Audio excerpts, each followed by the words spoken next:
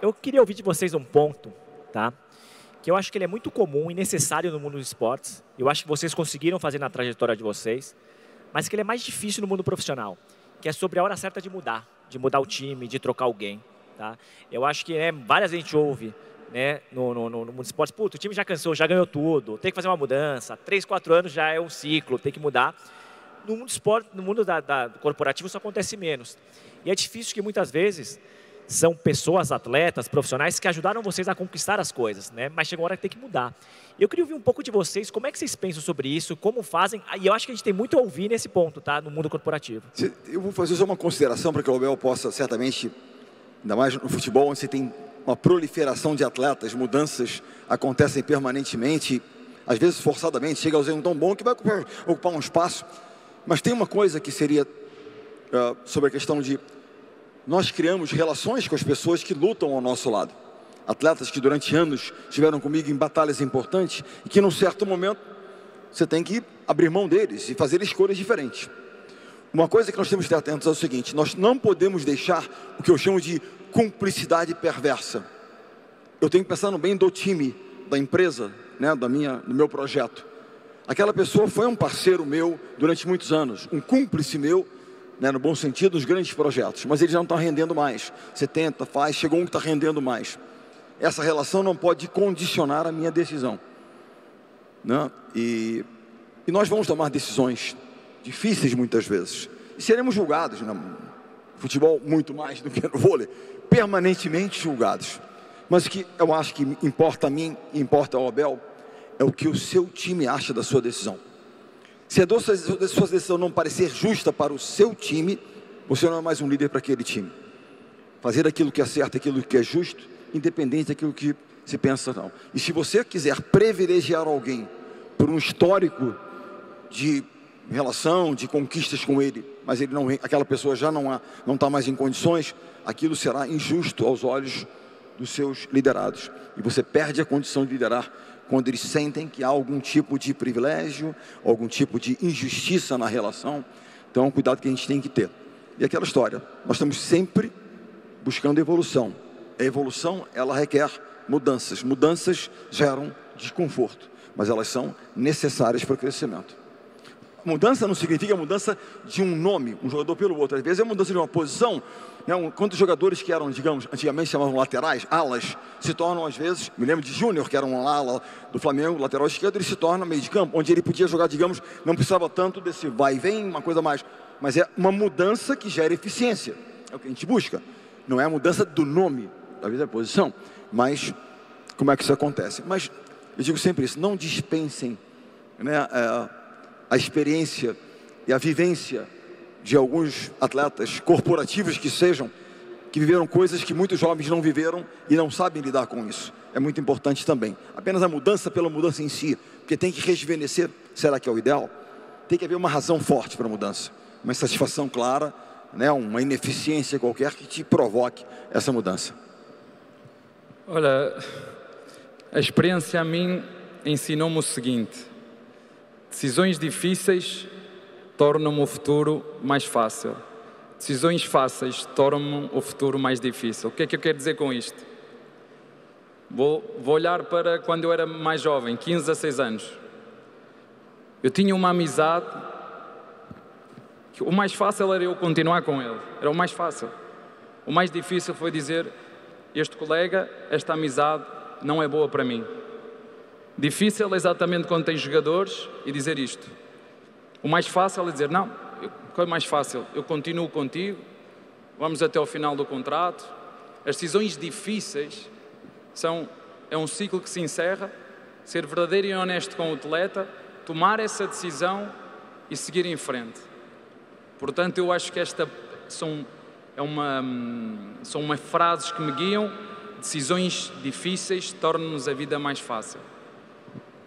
Eu sou treinador, às vezes perguntam-me o que é isso ser treinador, o que é isso ser líder. Para mim é o senso comum, é fazer bem o senso comum. Mas eu tenho que dizer isto: um líder, um CEO, um chefe, um treinador de equipa, o que é que ele faz? É tomar decisões. Então, elas têm que ser tomadas e às vezes são difíceis de tomar. Mas é para isso que tu estás lá. Tu estás lá para, em momentos difíceis, tomar as decisões que têm que ser tomadas. É o que é que é melhor para a empresa, não é o que é que é melhor para o atleta. O que é que é melhor para a equipa, não é o que é que é melhor para o atleta. Eu, quando tenho dúvidas, tenho uma frase: diz lá, o que é que é melhor para o meu time, não é o que é que é melhor para o atleta. E às vezes, e repito como comecei, decisões difíceis, falo da minha experiência, tornam-nos a vida fácil. Decisões fáceis tornam-nos a vida difícil. Muito bom. É verdade. E é verdade, né? Total. É verdade. Quanto mais a gente vai adiando essa decisão difícil, botando né, por baixo do tapete, um dia esse tapete vira e, está ali. Ó. a gente sabe às vezes, a gente só não consegue executar, né? Você é. sabe dentro de você, mas o executar é que é difícil, né? Eu pergunto sempre isso, né? É. Quantas vezes você procrastinou para tomar uma decisão difícil? É. E aí quando toma uma decisão, fala, poxa, devia ter feito isso antes. É. Líderes têm que tomar decisões certas, corretas, difíceis, não as convenientes. É. Porque as convenientes vão tornar a sua vida difícil. É. Até porque a conveniência é aquilo que a gente quer, né? Torna a vida mais fácil. Né? Tem que saber é, dizer não às conveniências. É, eu queria saber de vocês dois, agora na cabeça de, de liderança mesmo, é, como equilibrar a humildade, que é tão importante e que a gente sempre fala sobre isso, né? Ser humilde, é, se posicionar de uma forma humilde, mas ao mesmo tempo, existe do outro lado a autoridade. E a autoridade, às vezes, ela nem sempre tem que ir pela humildade, né? É um equilíbrio ali, é uma balança difícil entre humildade e autoridade. Eu queria que vocês falassem um pouquinho sobre isso, sobre esse equilíbrio. Esse, ele existe, né? A pergunta que tens que fazer a, a ti mesmo é: o que é humildade? É aceitar tudo que nos mandam fazer? É vestir roupas humildes. O que é que é humildade? É? Eu pergunto: o que é que é humildade para cada um de nós? É o ser submisso a quem quer que seja? É mandar em mim eu faço? É eu não ter opinião quando isso é humildade? O que é humildade? Humildade pode ser ser verdadeiro com o colega que está ao meu lado. Humildade pode ser ajudar, que é a função principal de um treinador, na minha opinião. A função de um treinador é ensinar, corrigir, mostrar e ajudar o atleta a ser melhor. Essa é, é a função principal de um treinador. Os treinadores de hoje, 90% dos treinadores que eu tive eram autoritários. Faz.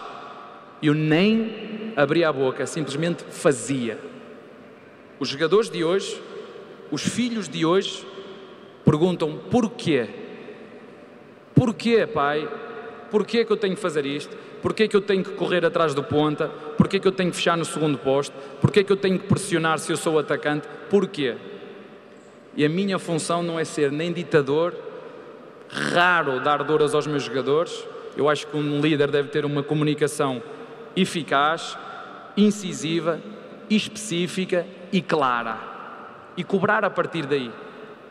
Eu não tenho que ser um ditador nem os meus jogadores têm que ser humildes ou submissos só que o treinador diz faz isto. Eu adoro que os jogadores me questionem. Eu acredito na liderança pelo conhecimento e pelo exemplo.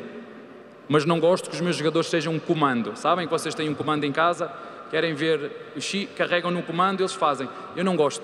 Isso não me desafia. Eu gosto de jogadores que me desafiem. Eu gosto de jogadores que me ajudem a ser melhor, porque isto depois é uma partilha. É? Eu ajudo-os a eles, eles ajudam a mim. Eu não conheço nenhum treinador que seja bom sem a ajuda dos jogadores. E Bernardinho, se souber, diga-me que eu, que eu vou lá. Tem uma, uma coisa, eu assistia muito aos programas domingo à noite, tinham aquelas rodas, né, os treinadores vinham. E uma vez eu ouvi de um treinador, quando houve uma derrota, eles não fizeram o que eu mandei. Aquilo para mim soou tão mal. Você não manda em ninguém, certamente você não foi convincente o suficiente para que eles fizessem aquilo que você estava propondo porque eles não acreditaram no seu porquê.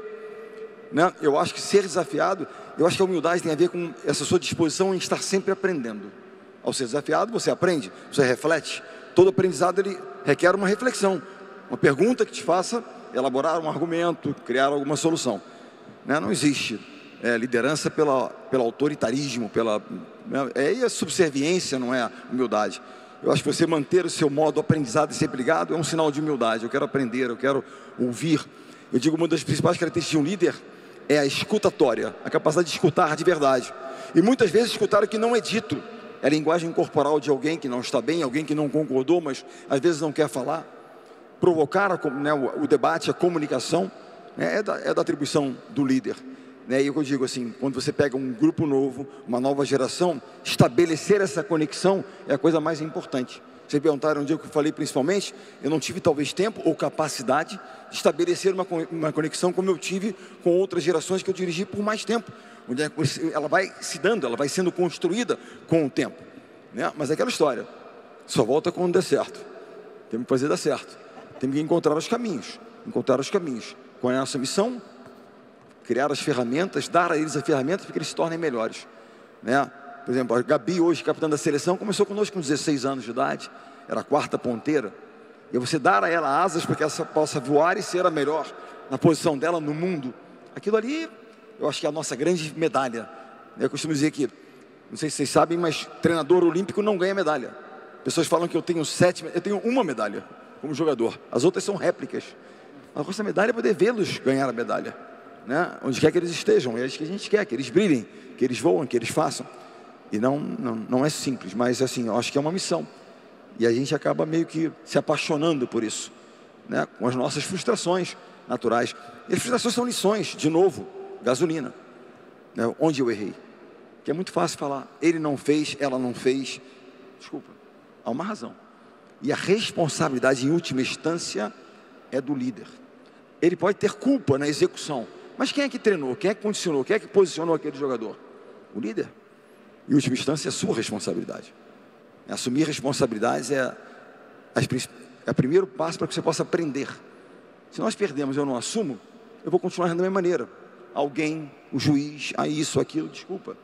Pode ter uma parcela, mas nós temos responsabilidade.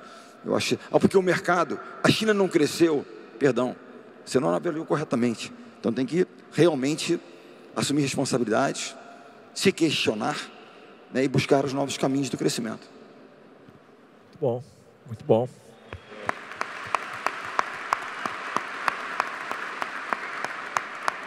Pessoal, tem uma pergunta aqui sobre pressão, tá?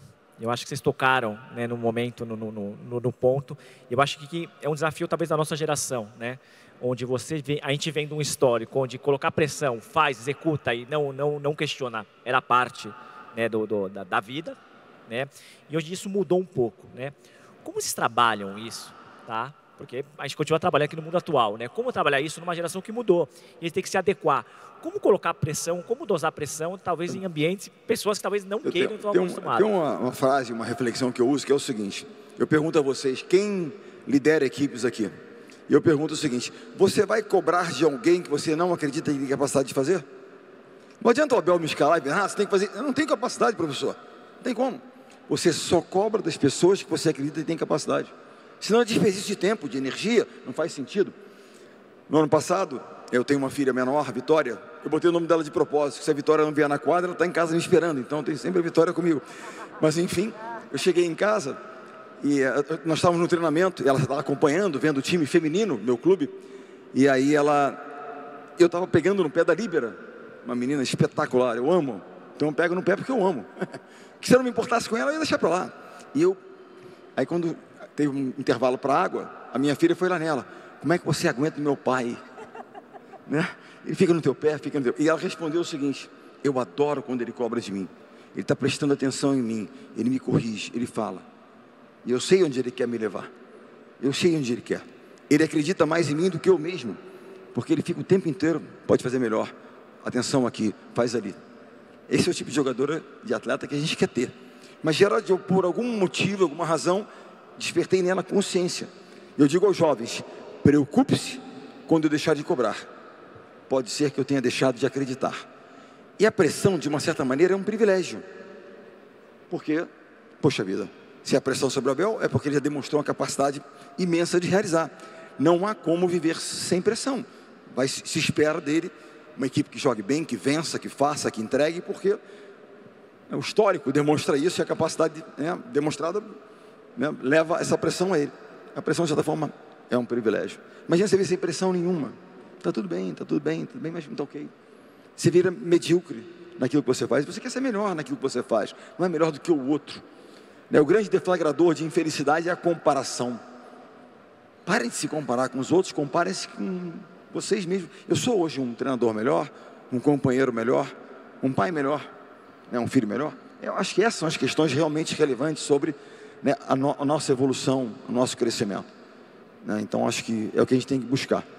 E a pressão é parte do uniforme de alguém que trabalha numa grande instituição, num grande clube, num grande time, o que quer que seja.